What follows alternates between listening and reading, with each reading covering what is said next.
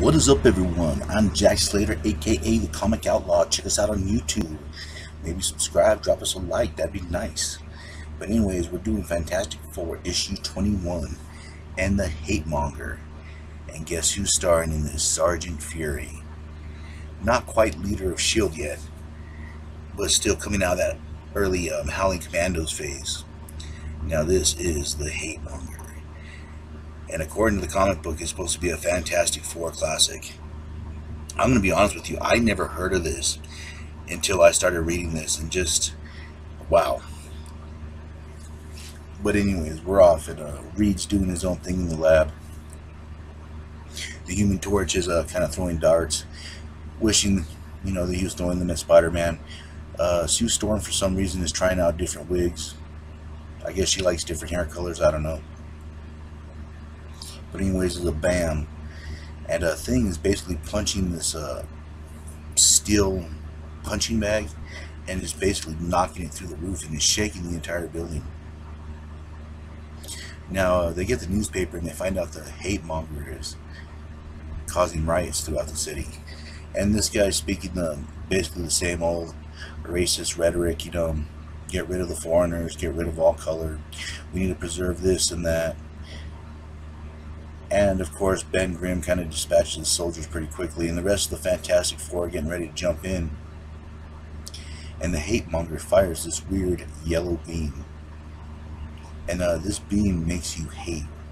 It makes you hate your friends, your comrades, everything. And all of a sudden, of course, Thing takes a swing at Mr. Fantastic, and they start going at it. And uh, this is sort of odd. I guess the human torch is about to flame on and she douses his hands. I guess back in the day he had to fire up his hands first. But anyways, Thing and Reed are in the middle of it. And it's interesting strength versus rubber. And uh, this time Thing's kind of coming out on top. Beating the hell out of both of them. And they kind of just all pretzel and roll out of the way. And this is where they decide the Fantastic Four ought to go their separate ways. And of course, Sue being hit with a ray, but didn't really join in the fight, thinks kind of the same way. They're a bunch of losers. I'm leaving. And of course, good old Sergeant Fury shows up and dispatches Reed Richards security. And I guess him and Reed have known each other for a long time. I guess they worked in military intelligence together. Um, of course, Nick Fury is a little bit older. Being with the Howling Commandos, that was back in Captain America's time during the Invaders. Um, Nick's kind of had a rough turn of it lately, and he's come to see Reed. And he's also looking for the hate monger, and he fears that Reed might already be under the effects of it. And of course, Ben is with Allison, and if he's having issues, you know, he has to crush Reed, he has to beat Reed. And the other guys are just basically just being hateful.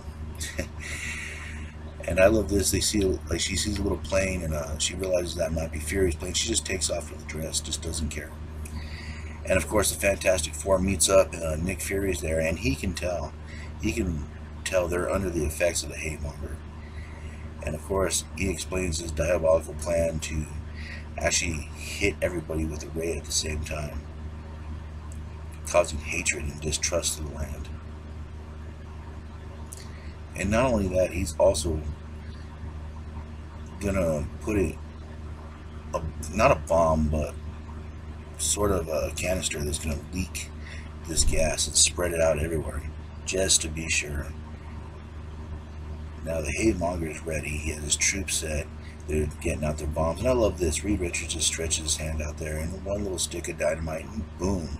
That is just awesome uh, Reed Richards grabs two missiles from the, the jet, and it just proves that uh, Reed's powers are extremely useful. And, look at this, he just dispatches all the guards, and right now he even says it's child's play. He goes to the device and he feels for the power source. He sticks his hand into the ground and stretches downward to feel the power source, which is very interesting, very cool. And of course, he's on his way, you know, and he gets hit by the gas and becomes under the hate monger's spell. So Reed is, of course, working for him. And Reed, his brain is still on, but his body's not functioning. So he's kind of figuring out the rest of the plan here as uh, Nick Fury comes blasting in. basically killing most of his guards, and he forces the hate monger to give Reed the antidote.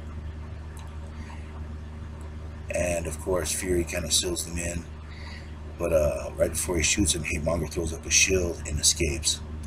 Of course, Reed and Fury are looking for him, but they have to cure the other members of the Fantastic Four first.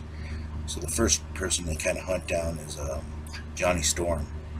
And right when he's about to flame back on, they kind of hit him with the antidote. Of course, they go after Ben next, get the pill down his throat. They have to kind of catch the invisible woman. I guess it's kind of hard to find that invisible lips, but I guess they get the pill down that way anyways too. With the Fantastic Four cured and ready to go, they dispatch the rest of the guards. And right when the hate monger is about to fire off his laser beam again, Sue kind of stops him. They capture him. Of course, he's just a flesh and blood man. And we're going to find out who's under the hood of the hate monger, who he really is. And it ends up being Adolf Hitler. Yes, Hitler escaped. And he is caught down and will be sent to prison by Nick Fury himself. And that was the hate monger, y'all. I hope you enjoyed it. And as always, I will catch you on the flip side.